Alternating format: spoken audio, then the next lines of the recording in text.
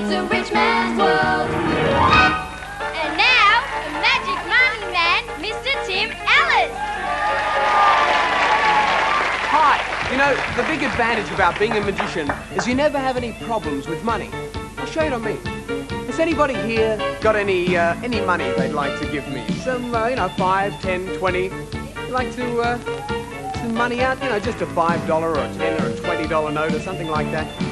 Big advantage about being a magician. People are always just so anxious to give you money. Thank you very much. Has anyone got any more money they'd like to give me? Uh, Oh no, no, it's okay. Because what I'm going to do is I'm going to take this twenty dollar note and I'm. Excuse me for a moment. Could we just get a shot of this? Uh, one of the cameramen here, Ross, has actually brought his lunch with him. He's got his lunch just over here. Ross, what? Actually, can I just borrow this from you? Oh, what was your name again? My name. Your name? Sorry? Carmen. Carmaine. Carmaine, I'd like to make a deal with you here.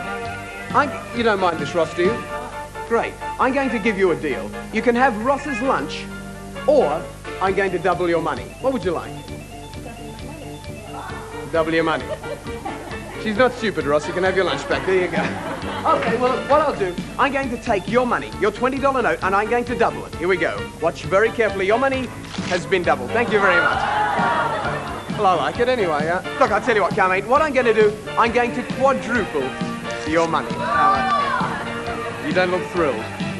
I'll tell you what, I'll make it eight times the amount. How about that? Eight times your money. Isn't that incredible? Oh, thanks, you know. You don't look happy, Carmine. I'll tell you what, Carmine, eh, what I'll do, I'll give you a piece of the money.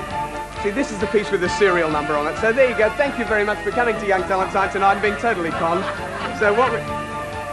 Well, look, Carmine, you've got the piece with the serial number.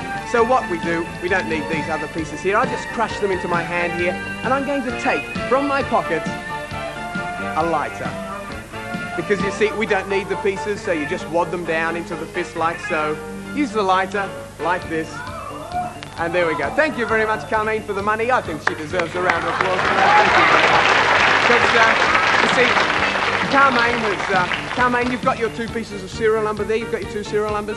And the other one too that I gave you? No, you need two, because you take them to the bank, and if you've got the two serial numbers, then they'll replace the $20. Where's the other one? No, I gave you two, didn't I? Just the one. Sorry, Carmine. Uh, Ross! Look, uh, can I... It's... Uh, Carmine, I'm sorry about this. I really am. I should have given you the two pieces. Uh, I'm going to give you Ross's lunch instead, because you should have taken his lunch, you know. Would have been a better deal. Because, uh, look, he's got... He's got pastrami and salad sandwiches and... And an orange and... Carmine, inside this orange, there's something a little unusual. As you can see, just inside here is what seems to be a $20 note. And if we have a look through here, you'll find that there is in fact a piece missing from this $20 note. Carmine, as you can see, we have a corner missing. Could I just have that corner you took there? Let me just have a look. And as you can